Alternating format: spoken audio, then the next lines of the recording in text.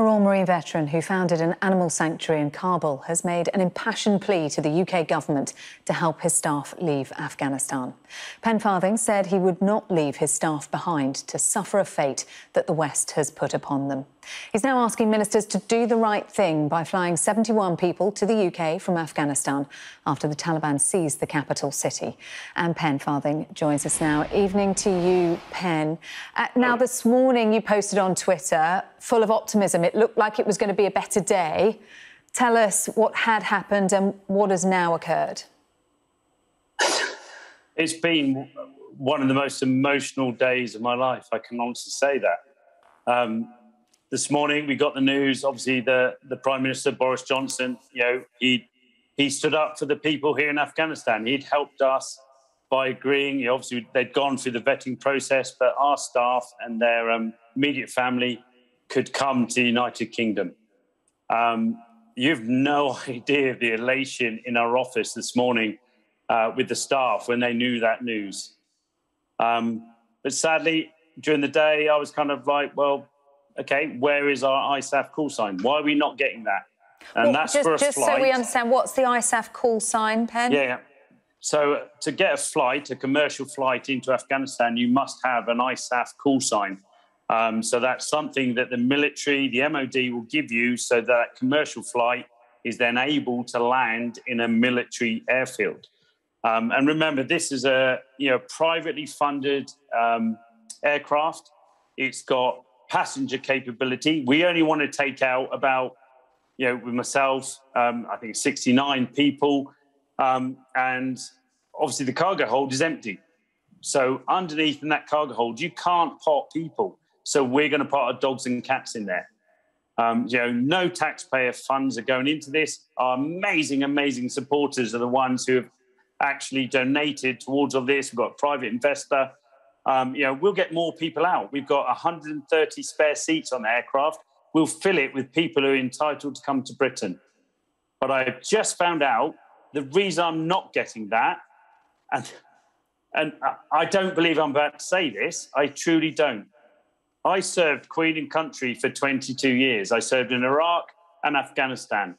And I've just found out right now that Peter Quentin, the special advisor to Ben Wallace, the Defence Secretary, has blocked me. He's cut me off from my MOD helpline. I had an MOD okay. helpline on my phone. So if I actually got in trouble here, I could ring somebody to say, hang on a minute, I'm on the run, the Taliban are chasing me, whatever. He has cut that line. Okay, I, I mean, obviously he isn't here to, de to, defend himself. No, I know. I do understand well, how. Then get on to him, please. How did he yeah, left we, we a British national he has left. well, please do, because yeah. I'm telling you right now, he has left a British national behind enemy lines with the Taliban around, and he cut my line. Um, and he, Pen, just uh, tell me about your staff that you've all been there waiting all day, thinking you were going. Um, really emotional.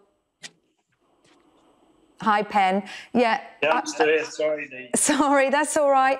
Um, just tell me about everybody because, as I understand it, you had got everybody there ready to go. The animals are all ready to go. You, you, thought you were getting out, and it has been a long, long, long process and a long week. Uh, we've spoken to you before. And we have been blocked by Peter Quentin, has blocked this flight because he does not want people to see animals getting on a flight. I'm here and I said I would stay here to get my staff out. I'm also going to get my animals out. And we've got a privately funded flight that will take 250 people. Yet he has now blocked that. I'm he's blocked, he's left me here on my own.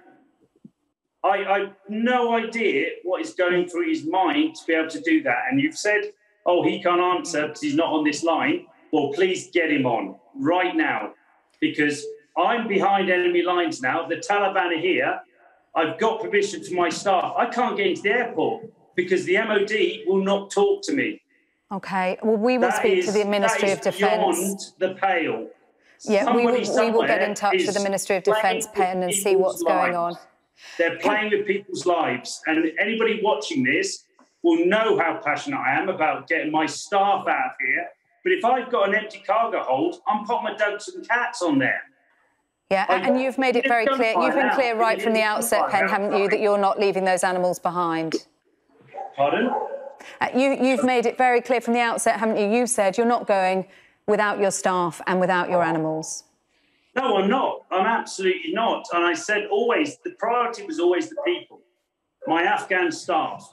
But as I've got an aircraft which has got a cargo hold, and you can't put people in the cargo hold, and the military, the taxpayer, is not paying for that, then I will put my dogs and cats in the cargo hold.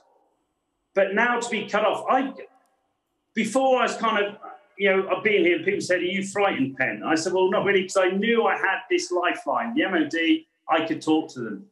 That's just been cut off. I'm now on my own here in Kabul. I have no backup for the Ministry of Defence. I served 22 years for Queen and Country, mm. and the very people that I was part of have cut me off. Okay. You have no idea the emotion that's going through me right now. Pen, Absolutely. we can't even begin to imagine um, what you are going through right there. And um, listen, keep in touch. Um, we wish you all the best. Uh, we hope you are back here soon, uh, and do, we will I get do. in touch with the Ministry of Defence. To do it now. I really don't know how I'm going to be able to do this because I have no backup from the UK to be able to do that. So whatever I do, I'm okay. doing it on my own. Um, Pen Farthing, thank you very much indeed for talking to us.